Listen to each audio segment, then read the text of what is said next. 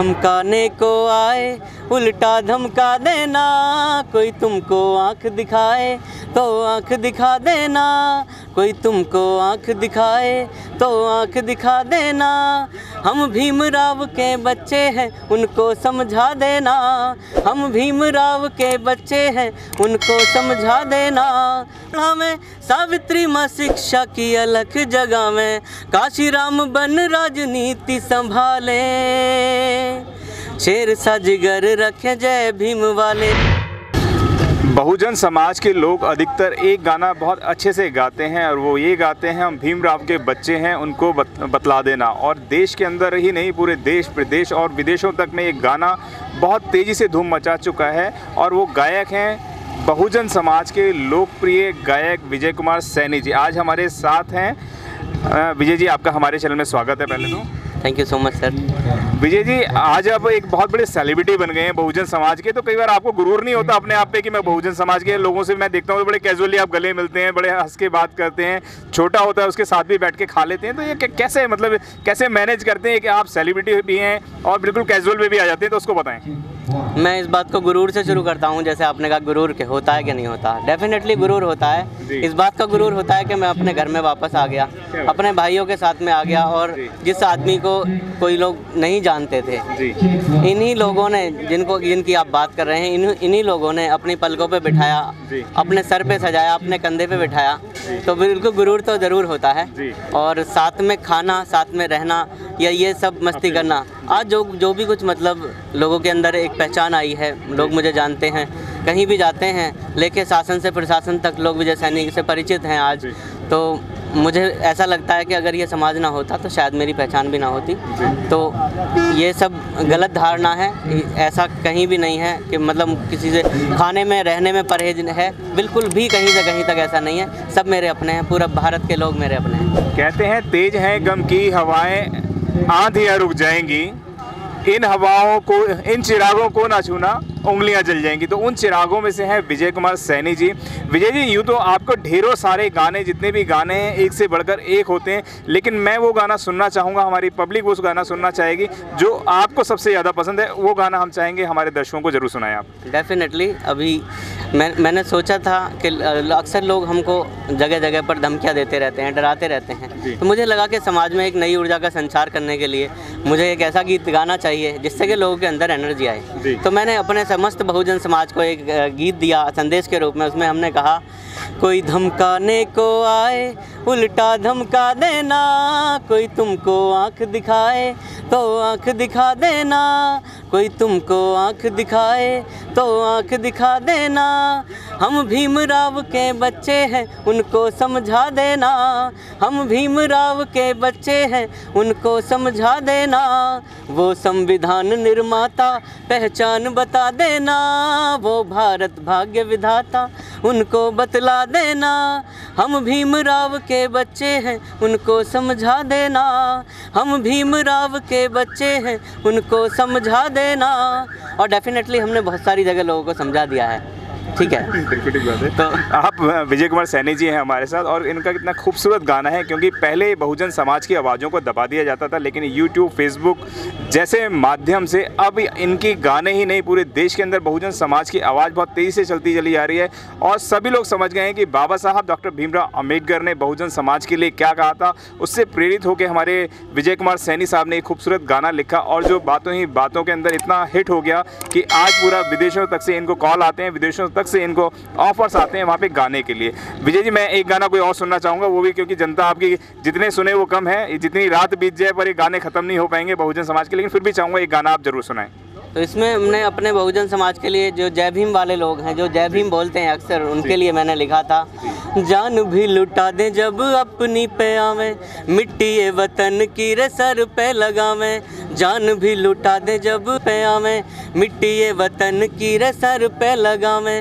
पुरुषों, महापुरुषों के गीत हम झूम झूम गावे। दुश्मन के टोटे कर डाले। शेर सा जिगर रखे जय भीम वाले। शेर सा जिगर रखे जय भीम वाले।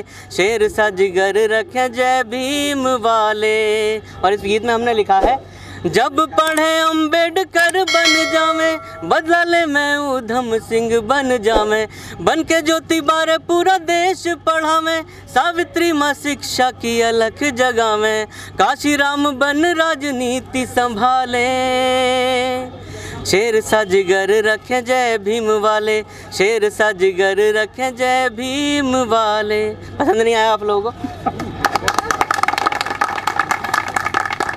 शेर सा जिगर रखें जय भीम वाले। और होता भी यही है इस बहुजन समाज ने इस पूरे देश को डायमंड बनाने का काम करा है। और ऐसे हमारे डायमंड हैं विजय सैनी साहब। विजय जी आपने हमारे से बात करी मैं आखिरी में एक और सवाल पूछूँगा। आप अपने दर्शकों को क्या कहना चाहेंगे वो बताएँ। गीत के मैं माध्यम से बताएँ तो बहुत अच्छा होगा। बस हमारा तो कहना यही है गीत के माध्यम से स्टेज पे मैं कुछ संदेश दूँगा सबको। जी। ठीक है? और मैं सिर्फ़ इतना कहना चाहूँगा कि हम आज़ाद भारत में रहते हैं। बाबा साहब की संतानें हैं हम बाबा ज्योतिबा फूले की संतानें हैं। अगर बेटियाँ हैं तो माता सावित्री बाई ने बहुत इंस्पायर किया है पूरे विश्व को इंस्पायर किया है। मैं चाहता हूँ कि अगर हम पढ़ लिख कर भी और सब कुछ हासिल करने के बाद ही सिर्फ़ शूद्र बने रहेंगे तो बिल्कुल ऐसा नहीं होना चाहिए।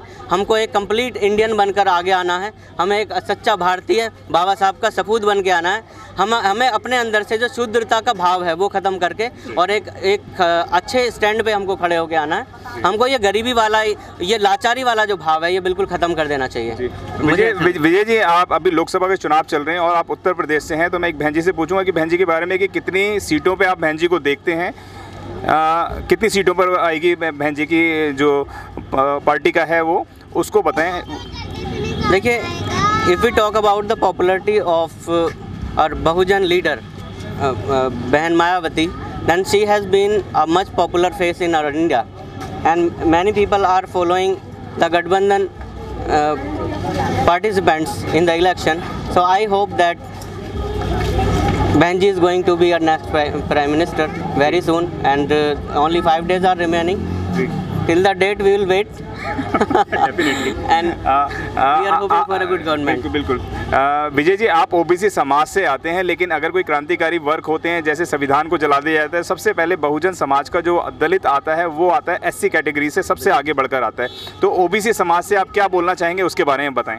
देखिए एक बात कही गई है गाँव में कहावत कही जाती है कि जाके पैर न फटी विवाही वाके जाने पीर पर आई जी। अभी तक जो ये संविधान की रक्षा के लिए लड़ रहा है हमारा एससी समाज लड़ रहा है और उसमें भी जाटव कम्युनिटी के लोग ही ज़्यादा उसको फोकस करते हैं क्योंकि उनको पता है कि अगर तुमने संविधान की रक्षा नहीं की तो तुम्हारे हाथ की जो रोटी है वो भी छीन ली जाएगी। ओबीसी समाज के पेट में थोड़ी रोटी पड़ी है इसलिए शायद वो अभी पीछे है। उसके उसको अभी कोई परेशानी नहीं होती। उन्हें अपने अधिकारों के बारे में ज़्यादा नॉलेज भी नहीं है और थोड़ा सा जिसके घर में धन दौलत थोड़ी सी भी है उसको इन सब चीज़ों से कोई लेना देना नहीं है। मुझे लगता है कि ये ये सब धारणा गलत है। ओबीसी समाज को बहुत आगे आना चाहिए उन्हें नहीं पता जो मतलब हमारे समाज का सबसे बड़ा दुर्भाग्य ये हो रहा है कि हमको इस तरह से बांटा गया है कि ओबीसी ये समझ के खुश है कि कम से कम मैं एससी से तो ऊपर हूँ। बस ये जो डिस्क्रिमिनेशन किया गया है हमारे बीच में यही वो बंटवारा है कि मतलब हम एक बिराद, एक बिरादरी के होते हैं सैनी शाक्य मौर्य मौर्य कुशवाहा इनमें होते हुए भी हम में आपस में भेदभाव हैं। वो कोई कहता है कि सैनी ऊपर होते हैं कोई कहता है कुशवाहा ऊपर होते हैं। तो ये जाति व्यवस्था जो बनाई गई जो सबसे ऊपर होता है वो बहुजन समाज होता है जिसे पिचासी परसेंट बोला जाता हूँ मैं किसी मैं ओबीसी समाज से नहीं मैं बहुजन समाज से आता हूँ और उसी ने मुझे पहचान दिलाई है और उसी के लिए मेरा संपूर्ण जीवन समर्पित है।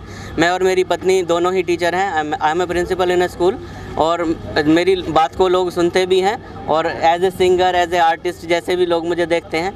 मैं चाहूँगा कि एक दिन उन लोगों को मेरी बात सुननी तो होगी और मेरे साथ आना होगा। आपने हमारे चैनल से बात करी इसके लिए बहुत बहुत धन्यवाद विजय जी आपका। थैंक यू सो मच अगर आपने अभी तक हमारा चैनल सब्सक्राइब नहीं किया है तो सब्सक्राइब करें और घंटी का बटन बिल्कुल भी दबाना ना भूलें, ताकि सभी लेटेस्ट खबरें पहुँच सकें आप पे सबसे पहले।